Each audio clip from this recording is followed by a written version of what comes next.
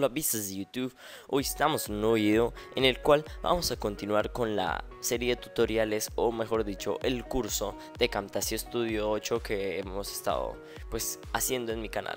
Así que bueno vamos a continuar con las callouts. Hoy vamos a ver esto que es algo muy importante una parte muy importante de Camtasia las callouts y bueno estas nos van a servir para diferentes cosas lo principal va a ser para agregar texto en nuestros videos pero en sí también nos van a servir para agregar figuras y para ayudarnos a enfocar en algunas partes el video y pues bueno eh, empecemos con las figuras con texto estas nos cada vez que la agreguemos le tenemos que dar, bueno, para agregar una solo la abrimos aquí y seleccionamos la que queramos. Por ejemplo, voy a probar con esta.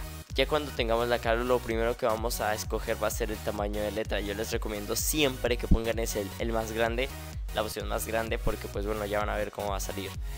Si le pongo hola, chicos, como verán, pues va a salir un tamaño normal si lo dejamos aún como 16 o, 20 o así se va a ver muy muy pequeño pero cada vez que le quieran cambiar el tamaño al texto de una callout solo lo van a tener que siempre seleccionar todo perdón. Y bueno seleccionan el que quieren 24 por ejemplo y como ven se ve muy chiquito. Pero sin embargo a lo mejor y cuando hagan grande el video ya se va a ver pues básicamente esta es la forma de usar las callouts fade in y fade out. Estos son transiciones o efectos por, que vienen por defecto en Camtasia. Esos son para todas las transiciones que vayamos a agregar. Bueno, estas van a ser como transiciones que nos van a ayudar a que no entre tan, tan duro así el callout. Y pues bueno, como verán aquí si lo reproduzco. Hola 1, 2, 3. Hola vistas de YouTube. Hoy estamos con un nuevo video en el cual vamos a aprender a cómo... Y adiós tiene unos efectos de entrada y de salida. Y aquí, y aquí en la parte de abajo en Properties, que son propiedades, vamos a poder eh, modificar el tiempo de entrada y el tiempo de salida de la transición. Algo interesante es que si tú le bajas todo esto a, a cada entrada y salida, puedes ir a transiciones y seleccionar la que tú quieras y agregarla así. Y miren esto, Hola 1, 2, 3, hola vistas de YouTube, hoy estamos con un nuevo video en el cual vamos a aprender a cómo... A pesar de que vengan por defecto las fade in y fade out, si nosotros las bajamos totalmente y luego agregamos otras, ya ahora sí van a quedar mucho mejor. Y estas también se les puede modificar el tiempo, aquí solo seleccionando y así. Pero bueno, eso lo vamos a ver en otro video, las transiciones, que es algo muy básico y muy sencillo. Pero bueno, continuemos. Estas son las callouts de eh, forma de texto, perdón. Y pues también vamos a poder seleccionar el color aquí y algunos efectos. Yo les recomiendo que ahorita si están aquí en Camtasia también probando esto, que ustedes vayan experimentando con las figuras, qué cosas, qué, qué formas pueden hacer, que todo lo que aprendan les va a ayudar mucho en pues sus videos que vayan a editar con Camtasia y todo eso. Así que pues si ustedes quieren aprender más, pues les recomiendo que estén experimentando con Camtasia. Sigamos con las figuras. Básicamente esto es algo muy sencillo y pues bueno, voy a situarme aquí diferente voy a deseleccionar esta para que ya no aparezca así y puedo agregar otra sin que esta se cambie. Y pues vamos a darle clic por ejemplo en esta. Esta es una figura en la que no vamos a poder agregar texto solo este pues agregarle una transición o el fade in y fade out que vienen por defecto también. Y pues estas son los cinco tipos de figuras que nos aparecen.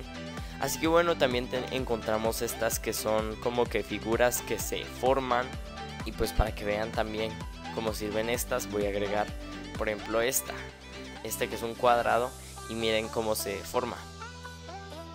Tiene un efecto estas draw time y fade out.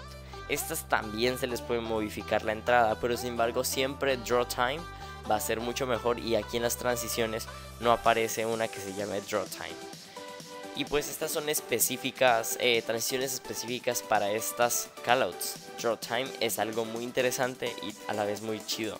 Porque pues como que se ve muy, muy chévere, ¿no? O sea, que se forme la, eh, la callout de esa forma se ve pues muy padre. Estas ya no se forman tanto como esa, pero sin embargo también tienen una entrada interesante. Eh, yo les recomiendo que también experimenten con estas y vean cómo sirve cada una y para usarlas en sus videos. Y bueno, llegamos a la parte de las callouts especiales. Estas nos tienen muchos usos y les recomiendo que en estas sí experimenten porque les van a servir demasiado. Estas dos en sí eh, las usan muchos youtubers cuando por ejemplo se están ingresando en una cuenta de algo y necesitan ocultar información para que no se note su correo o algo así. Y pues bueno, aquí con esta calot la van a, lo van a poner a hacer.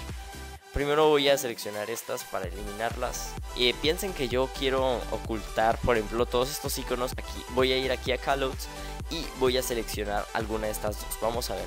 Las dos sirven para lo mismo, pero en sí vamos a ver qué, qué hay de diferencia entre las dos. Voy a agregar esta y como ven ya se me agregó un cuadradito, así que solo voy a mover a una esquina y ya la voy a modificar al tamaño que quiero ocultar. Y como ven se desenfocó o se ve raro, ya no se notan las figuras de acá. Y pues aquí también podemos modificar el fade in y fade out o ocultarlo y agregarle otras transiciones pero la verdad es que no se van a notar mucho las transiciones aquí. Y pues bueno también vamos a ver la otra que es pixeleado. Si, la, si le damos clic mientras lo tenemos aquí se va a cambiar automáticamente a esta otra y pues lo, interesante del pixeleado es que tiene una entrada muy chida. Como van a ver, se va a ir pixeleando de poquito. Pero bueno, vamos a ver. Miren. Hola 1, 2, 3. Hola vistas de YouTube. Ese, esa entrada de pixeles que aparece ahí es muy muy interesante. Y pues a mí la verdad es que me gusta mucho. Y pues bueno, estas dos callouts aquí son principalmente para ocultar o desenfocar para que no se note un aspecto de nuestro video. Así que bueno, esta también es muy interesante. Esta oculta o le baja el brillo y también desenfoca, de hecho, lo que no está seleccionado.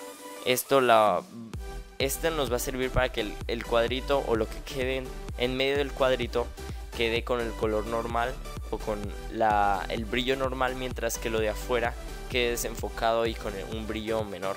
Y bueno, también encontramos todas estas cuatro callouts que nos sirven para agregar comandos. Estas son también muy interesantes. Aquí vamos a tener que darle clic aquí y por ejemplo si yo quiero agregar un comando puede ser control C, no sé.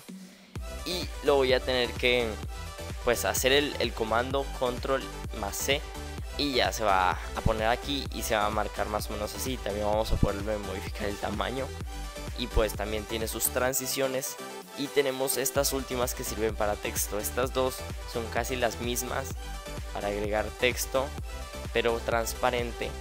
Y esta nos sirve para resaltar una parte y también agregarles incluso texto en ella. Por ejemplo, le puedo agregar hola. Pues bueno, estas son las callouts y espero que les haya servido mucho esto. Vamos a aprender algo más. El zoom pan.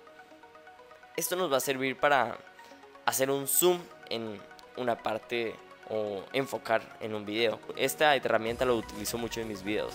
Y como ven, si le hago el zoom a esto, se va a enfocar. Y miren lo que pasa. Por ejemplo, aquí al inicio no tiene ningún zoom y miren cómo se ve. Hola 1, 2, 3. Hola vistas de YouTube. Hoy estamos con un nuevo video. Como ven, se enfocó en la parte que pues yo le acerqué hasta lo que yo quise ver. Y así eh, es como se va a ver el video cuando lo estemos produciendo. Y cuando ya queramos volver al, a toda la pantalla o modificar esta, este zoom, vamos a poder moverlo en la otra parte del video cuando ya estemos más adelantados. Y como ven, si regresamos todo esto.